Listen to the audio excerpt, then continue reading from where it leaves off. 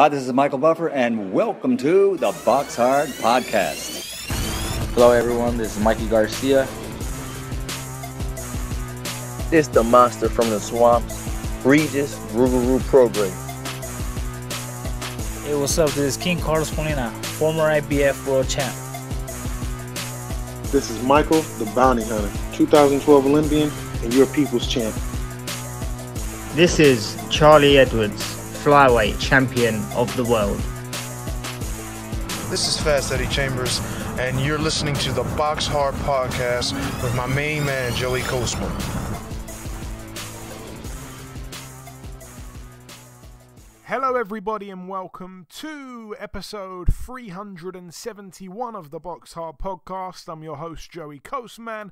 I'm joined as ever by former heavyweight world title challenger, Mr. Fast Eddie Chambers. Eddie, how you doing this week on this Thursday on this Thursday morning for you? Yeah, I'm doing good, my man. How about you? Always good when speaking with you, Eddie. Always good when speaking with you. Uh, the show is being recorded on the Thursday, so it'll be going out in a few hours. Uh, we're going to start here with the review part of the show. It's gonna it's gonna be this one. We're going to start with. Um, it was it was last Friday, um, Friday November eighteenth, at the Tech Point Arena, uh, Tech Port Arena, I should say, in San Antonio, Texas. Over here, friend of the show Hector Tanajara with a win. That's his twentieth win now, twenty and one with a draw. Um, his opponent Antonio Mejia now 10 and 5 retired on his store after 5 rounds didn't want to come out for the 6th and final round moving out now to the La Pelastre in La Laconnaire in France over here it was on Canal Plus um, Three fights to mention. Milan Prat now 18 and 0, a knockout in round two against Stephen Dagno, who's now 20 and 6 with three draws. That one was for the vacant EBU European Super Welterweight title. Milan Prat, um, yeah, I mean, I can see him in a big fight soon, I think.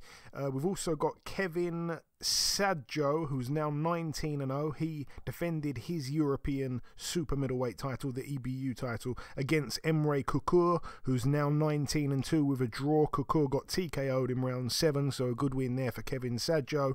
But the main event, Arsen Goulamirian, now 27 and 0. He successfully defended his WBA Super World Cruiserweight title against the undefeated Alexei Egorov, who's now 11 and 1. I think both men were coming off. Um, quite long layoffs, if I'm not mistaken, especially Goulamirian, if I'm if I'm not mistaken. Um, yeah, weighed in at 195 and a half pounds for that cruiserweight contest there. A good win there in the end, a unanimous decision over 12 rounds. Moving out now to Mexico City. This one we have to mention, of course. Um, friend of the show, former IBF world champion Carlos Molina. He put on his own event and he boxed on the card as well. Um, he got in with a guy called Oziel Son, uh, Oziel Santoyo. It was a 10 round contest. Santoyo 13 and 2 with a draw. Carlos Molina um, going in 38 and 12 with two draws. Now 38 and 13 with two draws. Carlos Molina upset over the distance. I think it was a split decision or a majority decision um, to Oziel Santoyo, which is a massive upset, obviously. Um, amazing for Santoyo to get a scalp like that on his record. You know, he didn't have a pretty one, but he's now got a former world champion on there. Carlos Molina felt he won the fight, um, but yeah, it was uh, it was on national TV in Mexico. A lot of people saw it. Um, not a good look, obviously, for Carlos to lose to a guy like that, especially on his own show. Um, but yeah, obviously, felt like he won the fight. I didn't see it.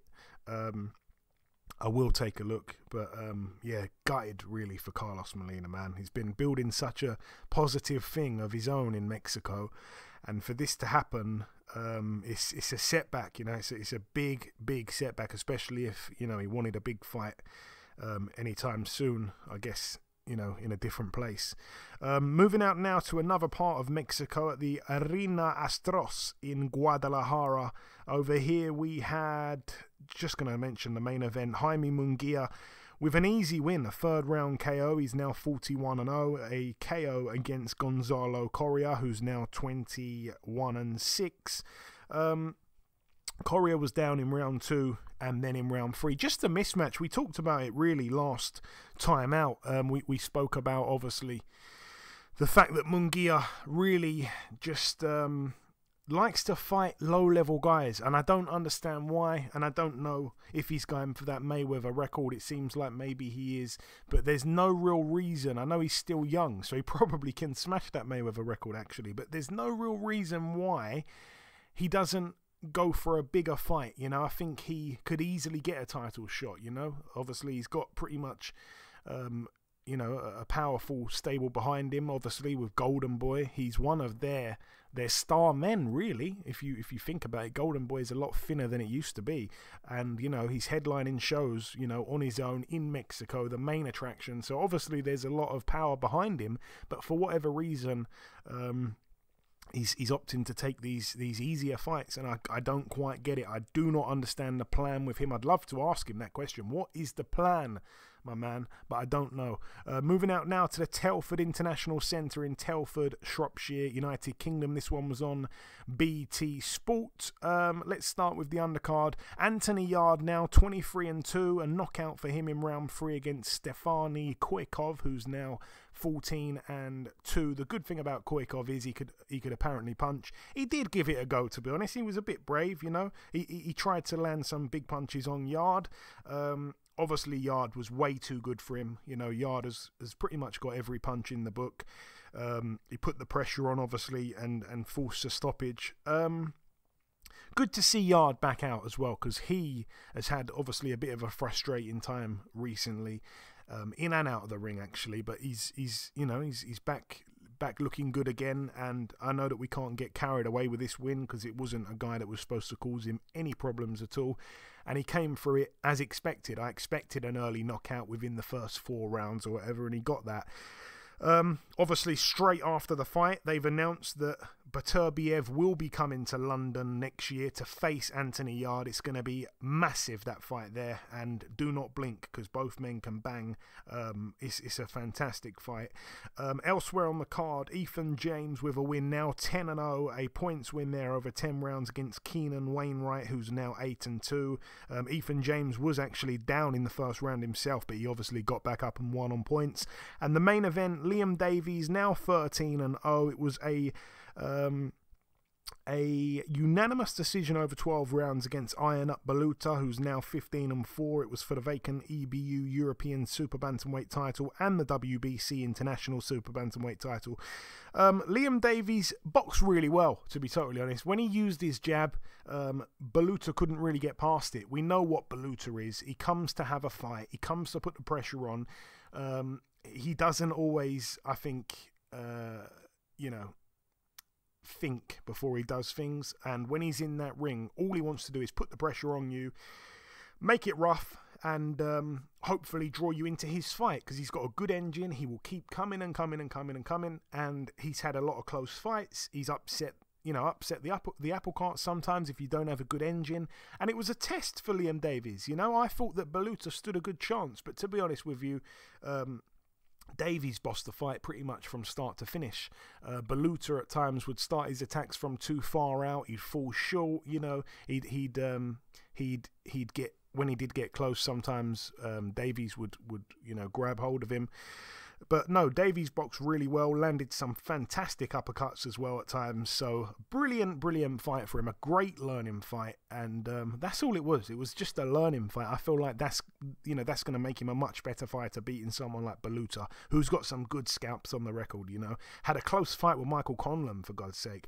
Liam Davies, it was not a close fight. He won very handily. Very impressive. Very very good. Um, moving out now to the final card of the review part. It took place at the Theatre in Austin, Texas, USA. It was live on. Um, I think it might have been the Zone pay per view. I've got no idea. I didn't watch it. But the main event, Greg Hardy, now 2 0 as a pro. A unanimous decision over four rounds against Hasim Rahman Jr., friend of the show, former co host, now 12 and 2. Rahman down in round two. Um, I mean, let, let's talk about it briefly, Eddie. I know that you saw, I think, a few bits of it. I've only pretty much seen um, about a 40 second video. I don't know, you've probably seen more than me, but devastating for Rahman. Obviously, friend of mine, friend of yours. You've known him a long, long time. Um, but, you know, this was a guy that obviously had the opportunity to box Jake Paul. There was you know, a disagreement on the weight. He felt he was still going to make the weight. I think he still did in the end. I think he still made the weight, even though the fight was off, um, or he might have missed it by about a pound, which would have been some kind of um, penalty of a bit of a percentage of his purse, which he was fine with doing. And you know, for whatever reason, he didn't he didn't make the check weight, which he didn't um, he didn't understand was contracted. Maybe it was, maybe it wasn't. Whatever. It was just a real mess, and he missed out on a massive payday. It would have been life changing. He was coming off a knockout loss to Kenzie Morrison at the time, and um, you know, the fight didn't happen. Obviously, he, he clings on to this YouTube boxing thing because he knows it's massive. His followers on Instagram went from about 5,000 to about 260,000. Everything was fantastic. His profile shot up just from being associated and linked with Jake Paul. He was going to get the Vitor Belfort fight. We wanted him to beat Vitor Belfort to avenge the loss to, uh, the, the, win um, or the loss that Holyfield suffered against him. Um, obviously, Belfort uh, pulled out the fight with COVID. In steps this guy, Greg Hardy. I didn't know who the hell he was. He was 1 0 as a pro. He's dropped Rahman there. Um, obviously, Rahman down in the second round. Once you're dropped in a in a four round fight, it's extremely hard. But I don't know how he looked for the rest of those rounds. I don't know if you can share any insight. And we should also mention that. Um, Greg Hardy did weigh 94 pounds more than Hassan Rahman Jr. Jesus. Wow, I didn't realize that. Hassan I mean, Rahman weighed in at 226. Greg Hardy was 320. Jeez, I did not know he weighed that much. And I, he's a, he was formerly in um in the MMA. He was he was doing MMA, but they had a 265 pound weight limit, so it was. I guess that was kind of limiting his his ability to do certain things. I guess. Uh, but in boxing, obviously, there's no weight limit, so you can weigh whatever the hell you want to weigh. And you could clearly see in the fight that Hardy was, you know, a great deal bigger. But, um, and he, from what I understand, I mean, I seen certain parts. He didn't look bad. Even one, even the shot he caught, uh, Rock with was a was like a counter, uh, counter right or I can't remember. I think it was a counter right. Yeah, it was a counter right hand which was like kind of a little bit of a surprise to me. I didn't know how skilled he would be, but early in the fight, like if you look at the first few minutes, and I didn't see it, my, the clip I seen was about the same clip you've seen, I think probably, and because I tried to see more, and for whatever reason, I wasn't able to watch the whole thing, but um. He was getting caught early. It looked like it was going to go the way it was supposed to go, where he was going to outpoint the guy at least, you know, possibly get a, a lead stoppage. But for whatever reason, I guess the pressure got to him. The size probably took hold a little bit more than we would have expected it. I mean, look, Rock is a, his, you know, he's a, he should be a skilled, but he is a skilled fighter. Like he knows how to box. He's been doing it for a very, very long time. You would mm. think that he would be able to figure it out with these guys, even though there's a there's a size discrepancy. You know what I mean? Eh, you, it may be a strength discrepancy, but there's there's some there's something called skill and IQ and know-how in general that should win the day for you in a situation like that. But for some reason, even like you seen with the, with Kenzie Morrison, you know, he got hit, he felt it, and reacted to it, and wasn't able to recover. You know what I mean? And, and it just and and in this fight, he was able to get to the end, but he loses a decision to a guy that he should easily outpoint, in my opinion. I mean, I don't know. Maybe I didn't I didn't see enough of it to dis, to to kind of decipher how good uh, Greg Hardy was skill wise. I know I think he had Shannon in his corner, Shannon Briggs. so, I mean, I don't know how much that helped his skill level, but you know, maybe it did add something to him.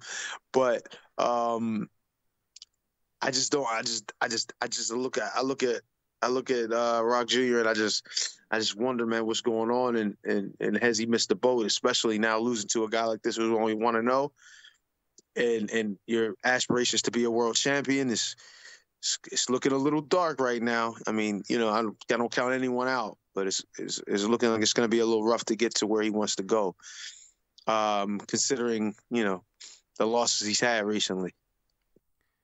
Yeah, no, I agree 100%, Eddie.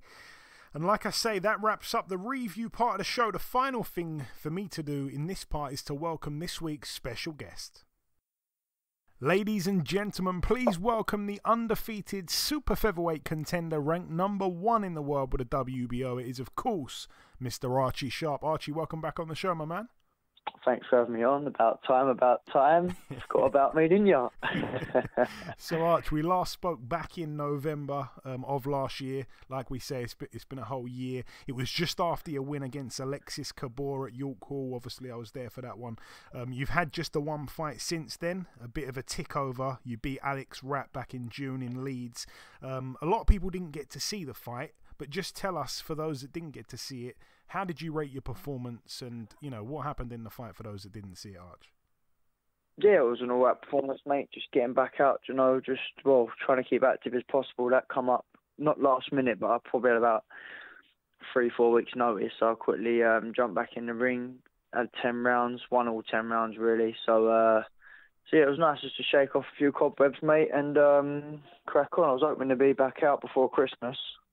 Um, that was the plan, but we shall see yeah, you've obviously had a lot of um, you know fights fall through and stuff. Nothing concrete as such, but um, yeah, a lot has a lot has um, happened in terms of things falling through for you since that fight against Rat Archie. Um, obviously, not much has happened in terms of progression in terms of your career, but obviously things have happened at super featherweight, um, particularly Shakur Stevenson, a man that you had your sights set on for a long time. He lost his title on the scales, he moved up in weight. Um, I know it's been a while since that event happened now, but just tell me what your reaction was to that. Obviously, we know he always looked quite big for super feather. Yeah, um, do you know what? I was surprised he lost it on the scales. To be fair, um, I know he was getting, he was, he's been getting bigger and and he's growing through the weights, but I was very shocked to see that he, uh, like I say, to lose it on the scales. But obviously, as you know, I jumped straight on it, straight on the old Twitter, and made a big point that I want to be fighting for the vacant WBO.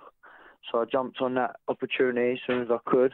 Um, but yeah, so now he's gone to lightweight, so I'm sure me and Shakur will bump into each other very, very soon when I moved to 135. Um, so it's not out the window that fight, but for the minute, it's a fight that I've had to put on the back burner. Yeah, um, he didn't spend too long at 130, which is kind of crazy, really. Hopefully, he stays at 126, 130, then 135 in the space of what months are we? That's what I'm saying. Hopefully, he's not going to be up at welterweight by the time you move to lightweight. Um, the belt obviously became vacant. Normally, we would see the number one ranked guy and the number two ranked guy fight for the vacant belt, but somehow you were you were skipped over, you were frozen out. We're now going to see the vacant title uh, put on the line for Emmanuel Navarrete and Oscar Valdez. Valdez as well, a man who already got his shot at this exact title back in April. Obviously lost handily to Shakur Stevenson. How did Top Rank pull that off, Archie? Because I don't know. You're right, mate. I should be should be there stepping in fight number two. One and two should fight, or at least like Navarrete is coming up, so obviously it'd be mandatory. Um, so it should be number one, and and and obviously Navarrete coming up from um, from featherweight. But to be honest with you, as a fan, it's a good fight. Navarrete and Valdez is a great fight to watch. Um, but unfortunately, for where I am in my position, it's just for a bit frustrating being at number one now for probably what a year, just under a year. I've been sitting at number one, and then for that to happen, it is definitely a kick in the teeth. Yeah, and just briefly on that fight, I, I want to ask how you think it's going to go. Obviously, it's an all Mexican affair. It's, it's, set to happen early 2023. Um, you know, politics aside, frustration aside is probably a better word. It's a good fight. Yeah. I think it's going to be a good fight, Arch. Do you? Yeah, I think it's going to be a great fight. And, uh, and um, do you know what? I'm excited to have the winner of it, to be honest with you. Um, I think it's going to be a great fight. Be interesting to see how Navarrete comes up to super featherweight. Obviously, he's been getting big um, through the weights, and like you say, uh, Mexicans Mexican style fight. I believe they're both going to meet in the middle, um, and I don't believe Valdez is a massive super featherweight either. So it'll be interesting. I think it's a great fight, and uh, I don't think it go. I don't think it will um, go the distance. I'll be very surprised if it does and you do hopefully have some good news on the horizon finally. It's been reported that you'll be boxing in a final eliminator on the Charlo um, on the Charlo Tszyu undercard in the US. It's said that you'll be boxing Liam Wilson of Australia. What can you tell us about that one, Arch? Yes, it's not all doom and gloom. Um, things are happening, and it's, it's just been a bit of a slow couple of years for myself. But it's all in good time, and trusting the process, and it's all working out very, very well. I'll be coming over to the States to fight Liam Wilson on the Charlo undercard against um, against Tszyu. So and then I'll be fighting Liam Wilson, who's ranked, who is a number three in the BO, and um, and then yeah for a final eliminator. So once I beat Liam Wilson, I'll be then going to fight the winner of Navarrete and Valdez. That is the plan. I'm just waiting on um, just waiting on the teams now to negotiate. You know, just to get the politics out of the way. Um, and yeah, mate, I'll be getting on the plane straight to Vegas and uh, winning my eliminator in January. And that's Jan 28th. Am I right in saying that? That's what I've been told. Um, that's what the news circling is. I believe he's he's released a few statements as well, saying it's the 28th. So we're just waiting on um, teams to confirm, but that's what it's looking like, mate. Very much so. Okay, and obviously, if it is to, to be Liam Wilson, if it does go ahead like we like we think it will, um, what do you know about him, Arch? Obviously, I only know a tiny bit. He's slightly taller than you, which I don't really say too much for a guy at super feather. No. Um, and he's got that, that sole defeat. He was stopped, but he did come back and then stop Joe Noine in the rematch. Yeah, so um, look, he's a good kid. He's number three in the in the WBO. Do You know what I mean? He's obviously done his he's done his work to get to where he's at. I do know that he's been around the amateur circuit, Commonwealths, and um, and some big competitions in the amateur game. So he's going to be very very well scored, as we know. Um, he's got a few stoppages out of most, well, most of them are stoppages out of the wins that he's had. Um, and like you say, he's only been defeated once and then he returned that and got a win. So look, we're expecting a tough fight. It's definitely probably going to be, well, you'd say on paper, could potentially be one of the toughest fights so far in my career. Um, but yeah, very well schooled kid, and this is what we want. Do you know what I mean? These are the big fights and the hard fights that we've been that we've been shouting for. These are the fights that we've wanted for a long time. And um, and yeah, I think this is a great fight that where Archie Sharp will come in on, on full game and everyone will see what I'm, what I can do and it's a brilliant opportunity as well, like a huge card for you to be on to go out there in the states and box on an undercard like this for the first time in a big in a big city as well. It's it's massive for you. Um, I just want to touch on obviously that Navarrete Valdez fight. We both said it'd be a good fight, and I know that in your eyes, you you obviously have envisioned beating Liam Wilson and then getting in there with the winner of Valdez Navarrete. I'm sure that you believe you'd beat both of them, but is there one that you'd rather? face or, or, or not so much? Do you know what? It's not even about um, I'd rather face. It's that styles make fights, and to be honest with you, um, that Navarrete, everybody knows I won't have to go looking for him. Do you know what I mean? He'd just be there. Um, and that Shakur's shown the blueprint on uh, Oscar Valdez. So uh, to be fair, mate, I'm ready for either or. The main thing is obviously being Wilson in January, and then the winner of them two uh, will be will be great, mate. That's what we're looking at. So yeah, either, either or, to be honest with you, mate, either one of them. And I'm talking to you now. Uh, this week is a, a, huge week for your gym. Obviously, you've got a lot of your gym mates in action this weekend at the O2.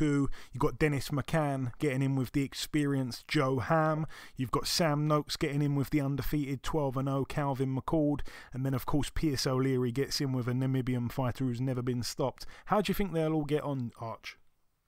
Yeah, do you know what? We are um, we're definitely blessed with the gym that we've got. It's all great talent down there. The boys are in unbelievable shape. Um, they're just doing hey, a hey, little bit I'm going to pause you there and say the girls as well. Can't forget Sky. Oh yeah, of course, of course, of course. We've got Sky. She's just flying. She's in her own lane, mate. She's flying. She's just flying every every other week, I think. And she's um, but she'll country. be out soon. She's yeah, she's out again, I believe, in um in the, in the, in the new year. So yeah, no, of course we can't forget about Sky. But no, everyone's flying down there. Um, and the boys are in great shape. So they'll be just doing their last little last little bits for the weight, and then uh, and then yeah, they're ready to rock and roll for the weekend. So they're all going to be in very good shape. Looking forward to um, great performances from all three of them. And obviously, you want them all to win. But I've got a feeling that secretly deep down you don't want Sam Noakes to get a knockout and overtake you with 10 KOs. Am I right? no, do you know? no, do you know what? You see, with me, mate, it's all love. It's all good. It's, it's good to see, and I've and I've generally said that um, it's just going to be interesting to see what sort of level it takes for Sam not to get a stoppage because I just think at the minute he's just blowing everyone out, whether it's uh, southern area level, European level uh, British level. Do you know what I mean? All these, he's, he's, he's flying, mate. And I generally believe I'll be very, very surprised if it goes a distance. Um, so yeah, no, I'm, I'm rooting for him to get another stoppage, and uh, it's good. It's good to see him. Say, Pierce come off a great stoppage last fight. Dennis has got a nice little step up here with um, with Joe who's been a, who's been about been around the amateur scene. So um, it's probably bring the best out of Dennis. So yeah, it'd be, it'd be great, mate. It'd be a good good night of boxing. I'm looking forward to it good night of boxing, good undercard with your gym mates, and the main event's a cracker as well. We're going to see, obviously, Zach Parker against John Ryder. Um, what's your take on that one as well, Archie? It's a great, great fight. Good clash of styles. Good, good. Um, what's the word? Um, um, crossroads kind of fight, I guess. Yeah, it's a great fight. That Parker's a big old boy for the weight. Um, yeah, do you know what? I'm actually very interested to see the fight how it plans out because you see Ryder, he can never write Ryder off. Um, he's a great, very well experienced at that level. Um, so no, I think it's a great 50-50 fight. Uh, do you know what? To be honest with you, I haven't actually got a winner on this. Um, I'm just going to sit back as a fan and just enjoy the boxing, and uh, I'm sure I'm sure either way it would uh, please all the fans, um, no matter what. Yeah, for sure. And just finally, Arch, before we let you go, if you've got any closing words to the listeners, um, obviously you haven't been on for a year. That's uh, that's my fault. Apologies. But what's your message? The listeners love no, just having all, you on. Just loving all the support um, and look, looking forward to 2023. Has been a slow couple of years, but the fights are now where we want, what we want.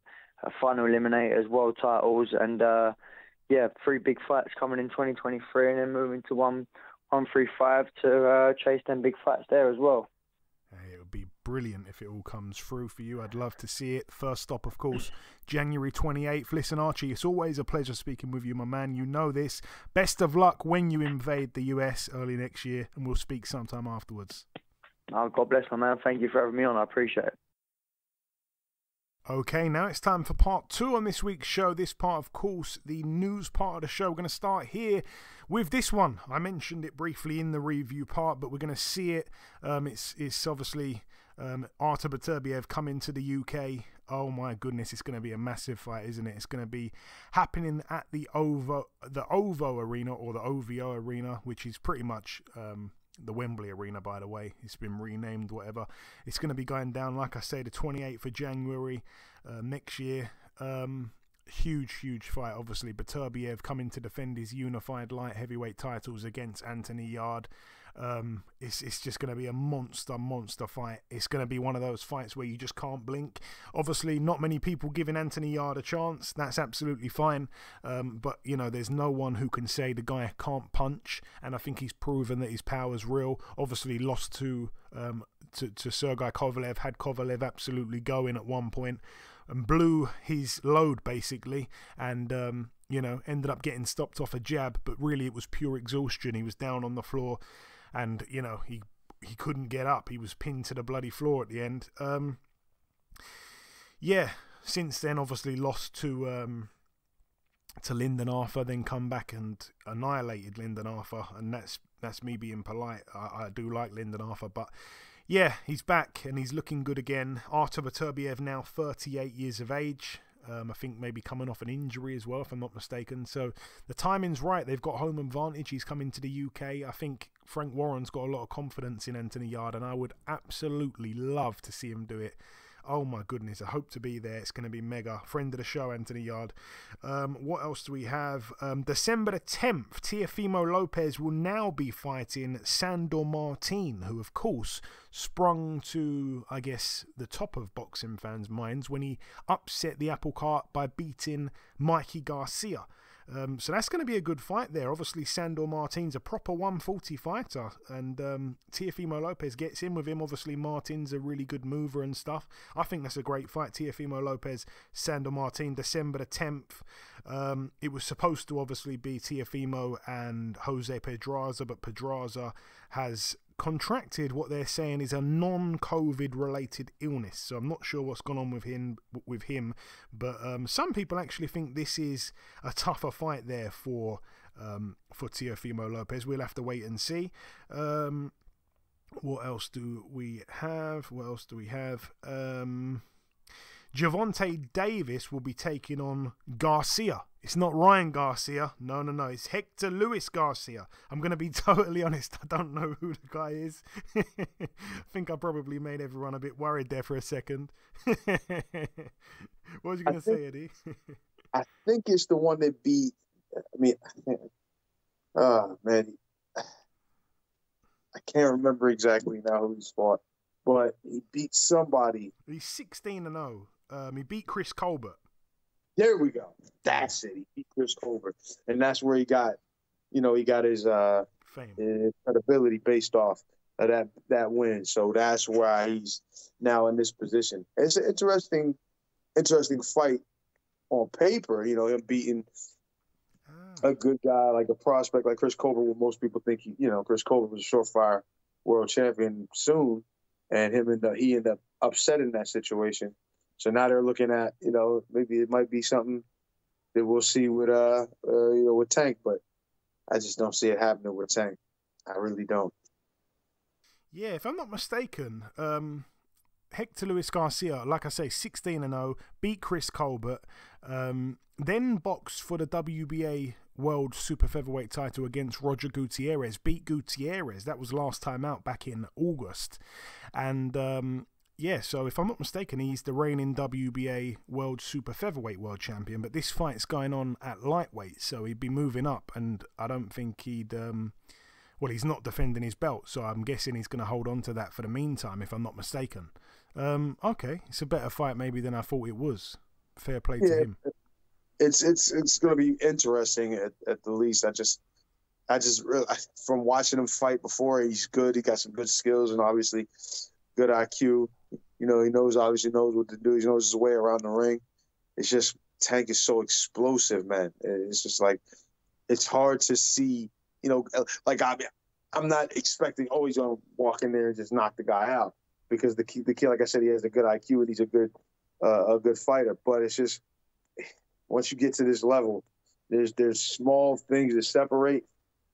But when you have the the eraser that Tank has and the ability to land the shot, it makes it really difficult to see. It's like even with really, really skilled and talented fighters uh, against Tank, it just it's because it, he's skilled too. You know, he's not. He, it's not that he's not a. He, he, can box. He can box just as well as most. So even with guys that are that are that are top notch, it just got to be extremely careful. You got to walk that fine line, otherwise you get caught with something. It could just be you just could mark the beginning of the end or the end. So it's just a tough situation with with with anybody that really has to face the kid. And that concludes the news part of the show. Uh, moving on now to the preview part, we're going to mention this one here. It takes place tomorrow at the Zenith Metropole in Nantes.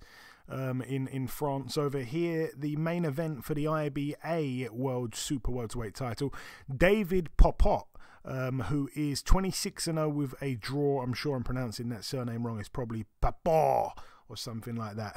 he gets in with Bilal Jikitu, who's 15 and 1. That one loss came to Sam Eggington. If people remember, um, it was at the back end of 2021 when him and Sam Eggington boxed in Coventry, and it was like fight of the year. It was a brilliant fight. Eggington ended up winning a split decision. So so um Jikatu's quite a good fighter there, but I think he's quite a big underdog here against David Papa.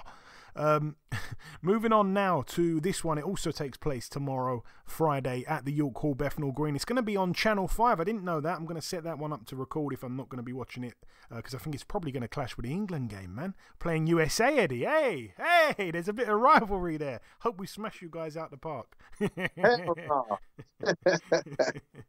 um, so, yeah, on this card, two friends of the show getting on it. Uh, we're going to see Harlem Eubank 15 and 0 getting in with Tom Farrell of Liverpool. Um, I think he's from Liverpool. 21 and 5. Remember him getting stopped years ago by Ohara Davies. That's over 10 rounds there at super lightweight. All the best to Harlem. Also, we have Liam Williams 23 and 4 with a draw. I think he's back now with Gary Lockett in Wales, and I think this is his comeback fight after getting um, beaten up really by Chris Eubank Jr. Um, he gets in with Nizar Trimech, who's 9 and 3 with two draws over 10 rounds there at middleweight. Moving out now to this one, it goes down at the O2 Arena in Greenwich, London, United Kingdom. It's going to be live on BT Sport.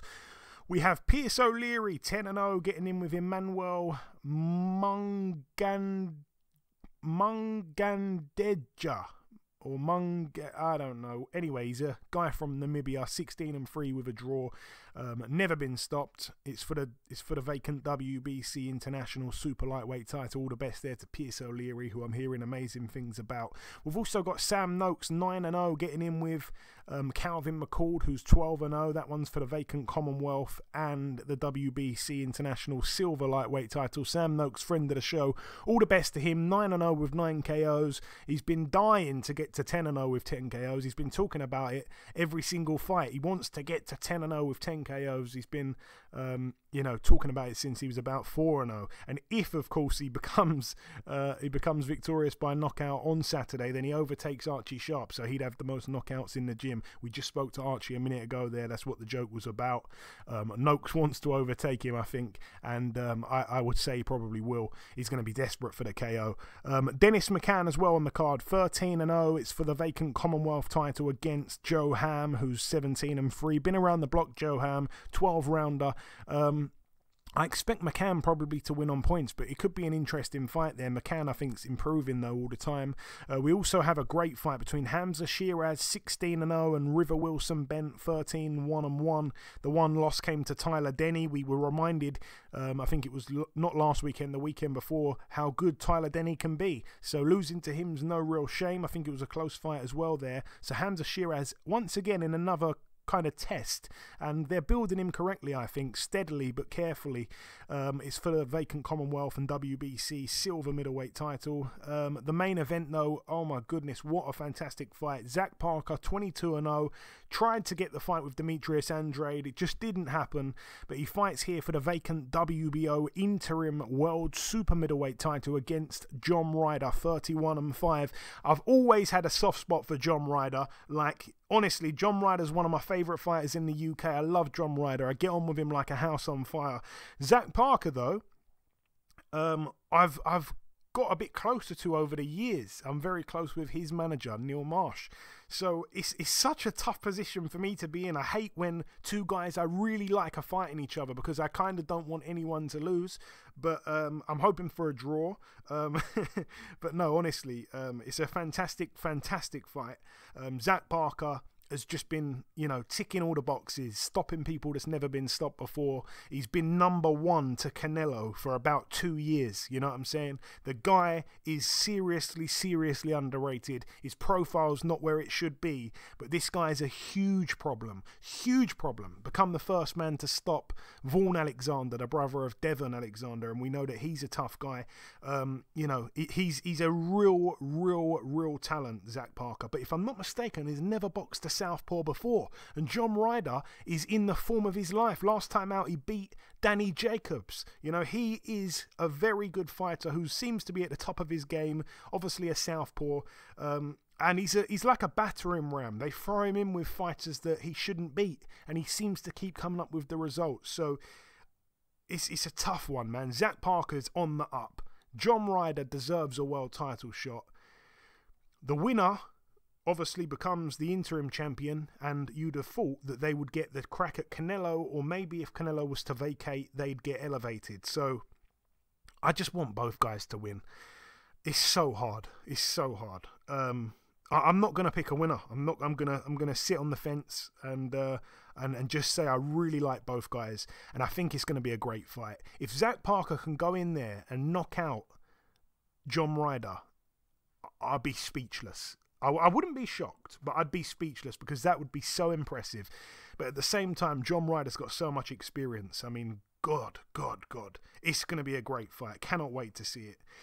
Uh, moving out now to the Wembley Arena, which um, is sad to see two cards, both in the UK, both clashing, both happening in London, you know, just a few miles away from each other. But this one's an Eddie Hearn show, going to be live on DAZN.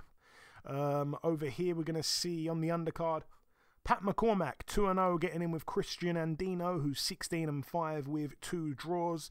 Uh, that's over six rounds there. We're going to see Cheavon Clarke as well, 3 0 with three KOs, getting in with Jose Ulrich, who's 17 and 5.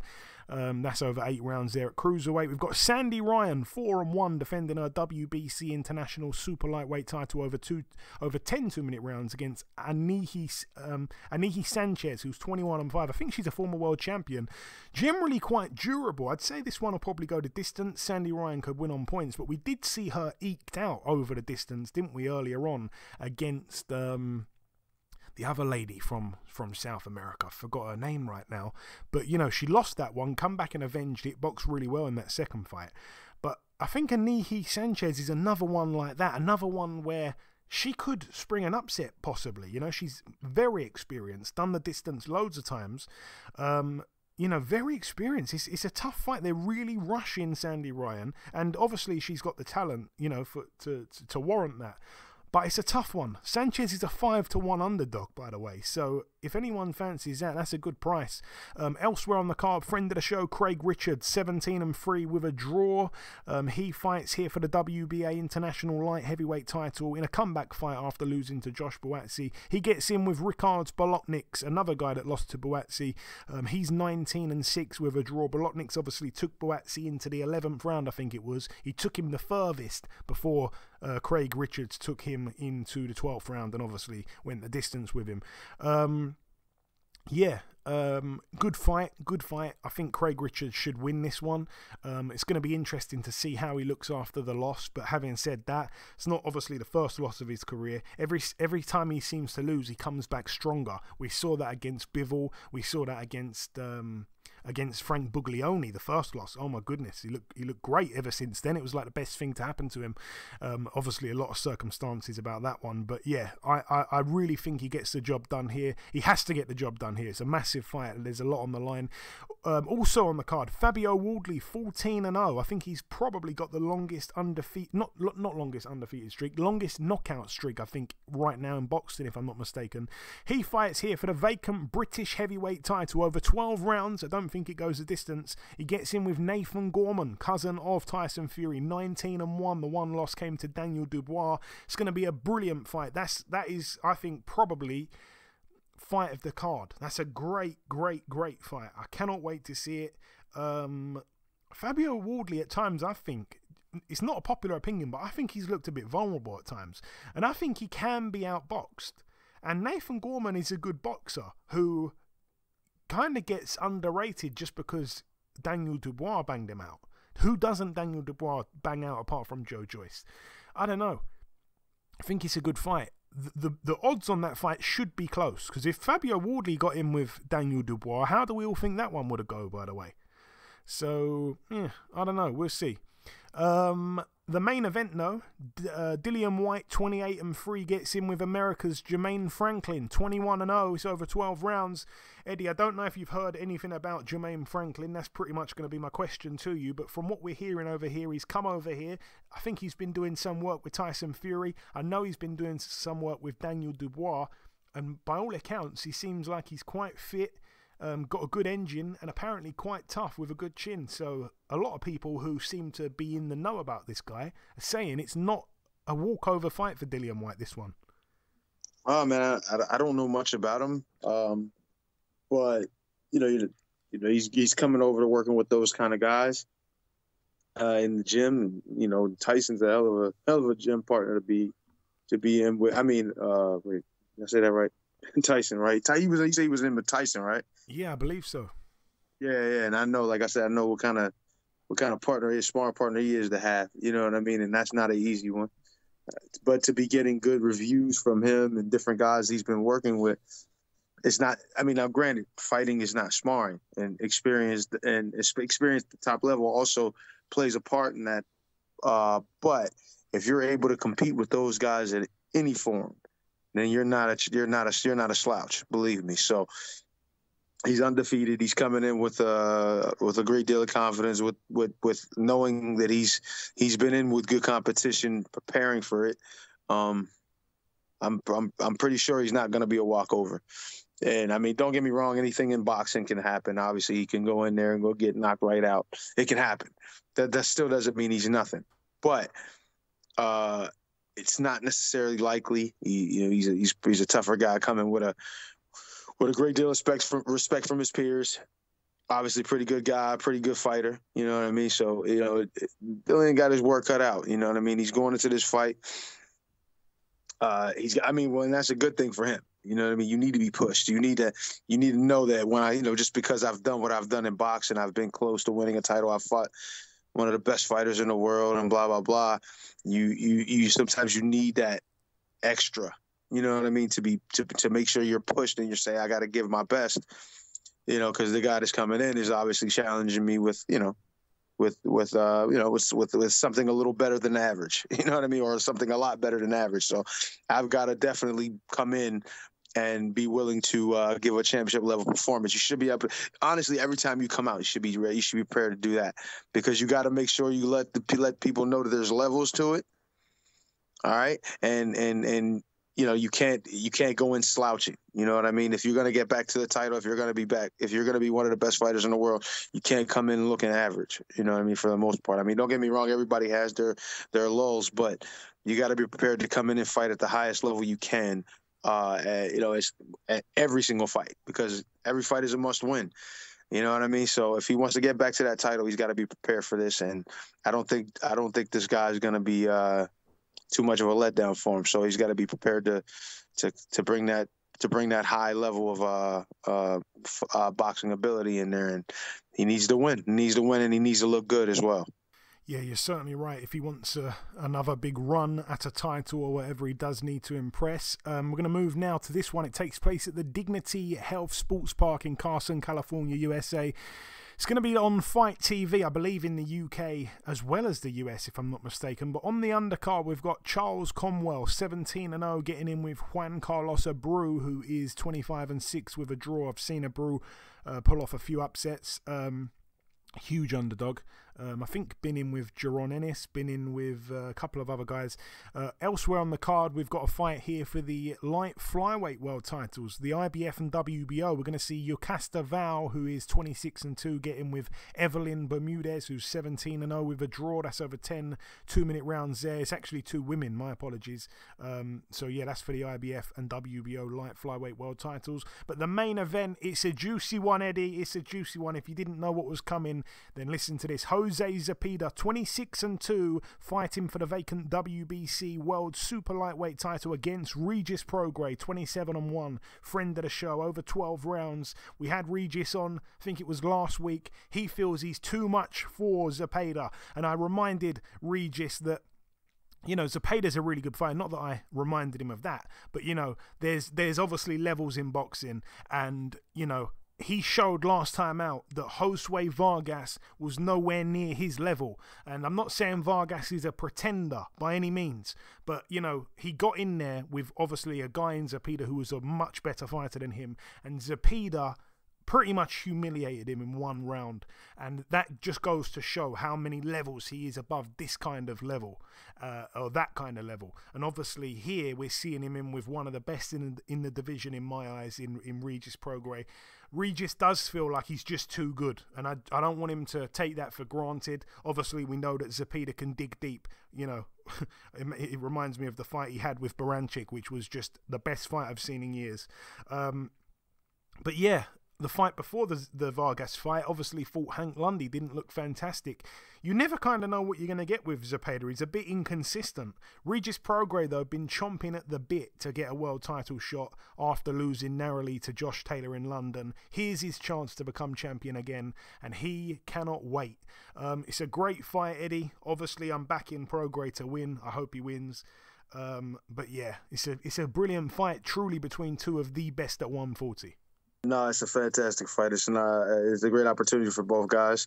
Obviously, um, uh, seeing that uh, Prograis is extremely, extremely dangerous fighter, talented, good puncher, and uh, with Zepeda, he's obviously shown that he's levels above Josue Vargas. That doesn't. There's no attack on him, but he's definitely at this level, and it's not going to be just an easy fight for him to walk through. However, Prograis is like I said, he's extremely dangerous, extremely talented, explosive power. It's gonna be it's gonna be a it's gonna be a rough night. It's gonna be a rough night possibly for for Zepeda, but I mean I don't know. I mean he, he may come in there and and and shut me up as well in this particular thing. I don't I haven't really seen so much of the guy. but he's done. I have seen a few fights he's been. I see, like I said, I seen the the Vargas fight, and he's done well in that. Um, it's like I said, it's not going to be easy for Prograis, but but I'm still backing him. I think he should be able to win that fight, but it's uh, it's going to be a hell of a it's going to be a hell of a fight up until the end. I'll say that. Yeah, I think it will be. It'll be a great fight. Um, I don't think that Prograis can just run him over, but you know it'll be exciting if he does try to do that. Obviously, Zepeda, you know, very experienced as well. It's going to be a great fight. Honestly, I just love the fact that we're seeing a vacant title contested for between two of the best. You know, there's no one doubting that these two are probably top top top three or four at five at, at, best. I mean, when I think of the top guys at 140 off the top of my head, it's Josh Taylor, obviously, it's um, Ramirez, um, Zepeda, and Prograis. Obviously, you've got to give an honourable mention to Jack Catterall in there. I don't think I'm missing anyone at the minute there. Um, Teofimo Lopez still kind of got to get his fights in before we get carried away. Um, elsewhere on the undercard, I almost forgot Ruben Torres, 19 and 0, getting in with with Eduardo Estella, who's 13 and 1. That's over 10, uh, 10 rounds there. Uh, we also have two sons of of um, Fernando Vargas. We've got Fernando Vargas Jr., 6 and 0 in a six rounder against Alejandro Martinez, who's 3 and 2 with a draw. We also have Amado Vargas. Amado Vargas 4 0 in a four rounder against Osmar Hernandez, who's 1 and 1. And also, we should mention. Um, Bakhodir Jalolov, 11 0 in a 10 round contest against Curtis Harper, um, 14 and 8. Very surprised that Harper's still getting a TV slot after that time when he walked out the ring. Obviously, we, we never forget. Um, and yeah, moving out to the final card to mention, it takes place on Sunday. It's a Sunday afternoon card in the UK. Um, it's going down at the Ali Pali. It's going to be live on Sky. Uh, let's run through these fights, shall we? On the undercard, friend of the show, Shannon Ryan, 3 0, no opponent just yet. Um, we also have a good fight, really. Adam Azim, 6 0, getting in with the pint sized powerhouse, Mr. Ryland Charlton, um, 9 and 3 with a draw. Um, I'm expecting Azim pretty much to walk through Charlton, unfortunately. Uh, we're going to see friend of the show, Sam Gilley, 14 and 1, getting in here with the. Uh, with the I don't know where I was going with that, but for the English super welterweight title, I think it's his, so he's going to be defending that against Sean Robinson, who's 11 and 1 with a draw. Friend of the show, Lerone Richards, 16 and 0 in a 10 rounder against Zach Chelli, who's 12 and 1 with a draw. I, am not sure how good of a fight that's going to be. Lerone Richards, obviously the much, much classier boxer. Um, Zach Chelli always comes to fight and will give it a go, but I can see him being, you know, walked onto shots all night. And Lerone Richards doesn't give a damn about making a fight exciting. Probably going to go 10 rounds here and win on points. And the main event Mikael Lawal, 16 and 0, getting in here for the vacant British cruiserweight title against David Jameson, who is 9 and 1. That's over 12 rounds there, like I say, at cruiserweight. But that's about it for the preview part of the show. In part one, we did the review part. We spoke to our special guest, Archie Sharp. In part two, we did the news, and I've just wrapped up the preview part just there. The final thing for me to do is to come in with the outro, which I'll do in just a few seconds. Okay, and this wraps up episode 371 of the Box Hard podcast. I've been your host, Joey Coastman. Eddie Chambers has been with me for the duration of the show. A huge thank you to our special guest this week, the undefeated number one ranked super featherweight in the world with a WBO, Mr. Archie Sharp. The biggest thanks of all, though, goes out to you, the listeners. Thanks once again for tuning in. That's about everything from myself. Enjoy your weekends, people. Stay safe, and we shall see you all again next week.